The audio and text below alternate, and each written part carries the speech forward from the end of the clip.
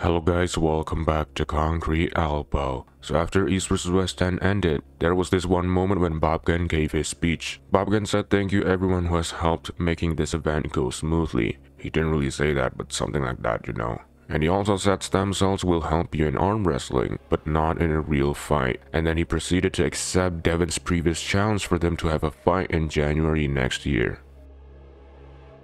Core Sports. Set up an MMA match. Okay, I'll choke the dude out in the ring. I'll choke him out.